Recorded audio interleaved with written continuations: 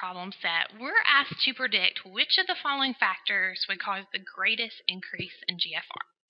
So in order to solve this problem, let's first go back and revisit the three main pressures that are involved in bulk flow processes in the glomerulus. So in order to do this, we're just going to represent the glomerular capillaries very simply, much like we did in the systemic circulation. So these would be our endothelial cells. So within this, this is going to be our glomerular capillary.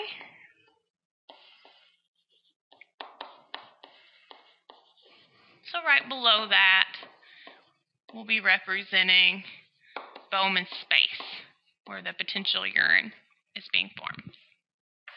So there are three main pressures that we saw here in the glomerulus that would be influencing the bulk flow of fluids going from in or out of the glomerular capillary.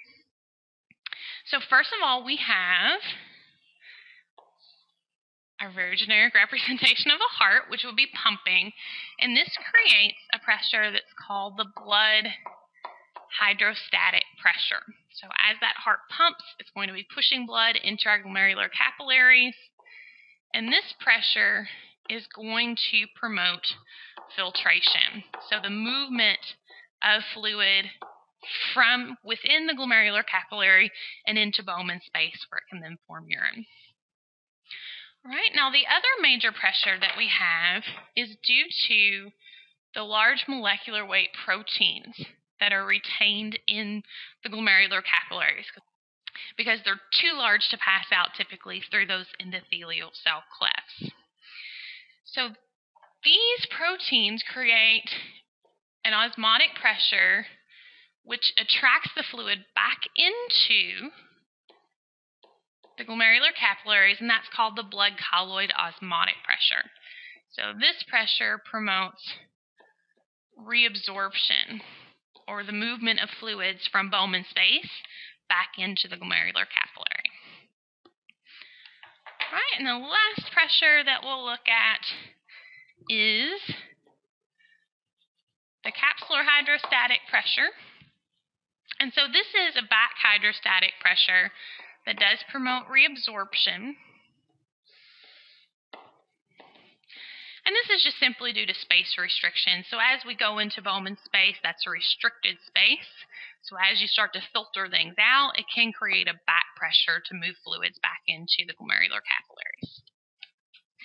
Okay, so what we're looking at here is trying to determine what these different pressures could do to influence the GFR. So I want you to think of the GFR as being that movement of fluid filtering out of the glomerular capillaries. So what GFR is actually measuring is the amount of filtrate that's formed in all of the renal corpuscles of both kidneys each minute. So there are a couple different ways that we could increase GFR. We could either increase the filtration, so there's more fluid that's being pulled out from the glomerular capillary into Bowman's space and forming potential urine, or we could decrease the reabsorption in the glomerulus. Maybe you have the same amount of fluid that's passing out, but there's less fluid that's being attracted back to the glomerular capillary. So either one of these factors could increase our GFR like the problem asks us to. So let's go through each one of the response choices and just see whether we think that it would increase or decrease GFR. Now, there are numbers that are listed here, but what I would encourage you to do is first just ignore the numbers. What I'd like us to do is go through each response and just first determine would it increase or decrease GFR. Because when you're in a test and you're under a time constraint, it would be more advantageous just to determine first do they increase or decrease GFR, and then you might be able to eliminate some answers so you don't have to do as much math. All right, so let's start with response A, which tells us that there's an increase in the blood hydrostatic pressure. So we looked at the blood hydrostatic pressure on our diagram, and we saw that that increases filtration. So if you increase the blood hydrostatic pressure, you would increase filtration. And we saw that that would increase our GFR. So this is a potential answer. So this one so far seems like a good answer. All right, let's go to response choice B.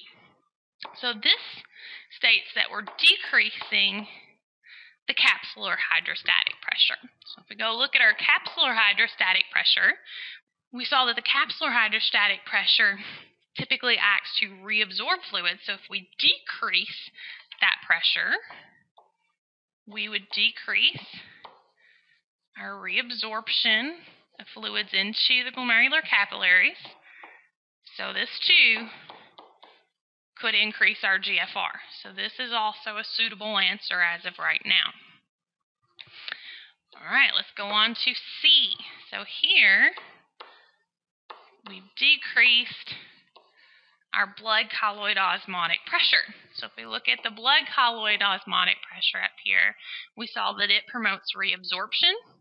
So if we decrease the blood colloid osmotic pressure, we would decrease our reabsorption, which could also, let me write my up arrow there, increase our GFR.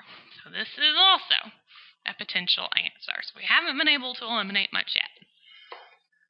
All right, let's go on to response D. So a 50% constriction of the afferent and efferent arterioles. All right, this one's a little bit challenging. So if we constrict the afferent, what we're doing is preventing as much fluid from entering into the glomerulus.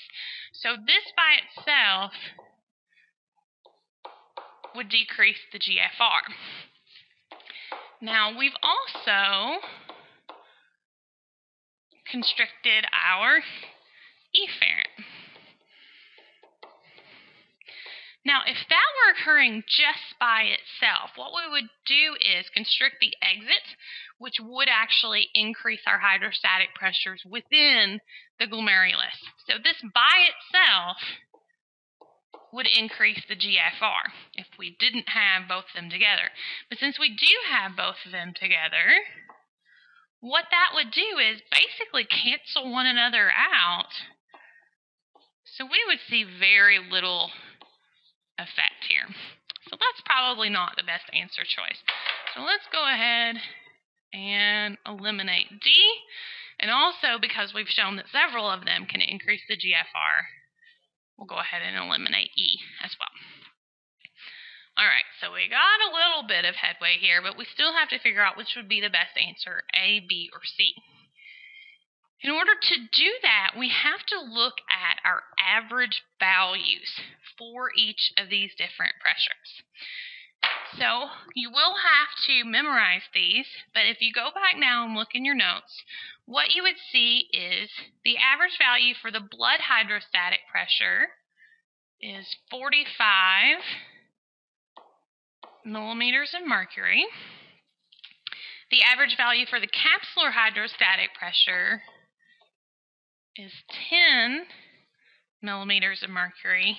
And our average value for the blood colloid osmotic pressure is 27 millimeters of mercury.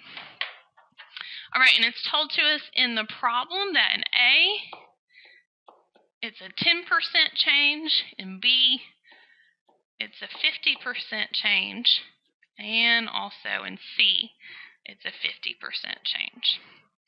Okay, so now we have to do just very simple math to determine, okay, we've changed each one of these by a certain percentage, which one of them is largest, because we want to know the greatest increase in GFR. So if we go in and do this math, I'm going to erase this just so we have a little bit more room. All right, 10% of 45 would be a 4.5 millimeters of mercury pressure change, right? 50% of 10 would be a 5 millimeter of mercury pressure change. And last but not least, 50% of 27 would be a 13.5 millimeter of mercury pressure change. So based on the numbers then, once we went into that final step, we determined that response C is our correct answer because although all A through C would increase GFR, C describes the greatest increase in GFR given the change indicated. Okay, so hopefully this helped to reinforce the concepts of bulk flow in the glomerulus and how we might be able to change GFR under differing conditions. So as always, please let me know if you have any questions with this material.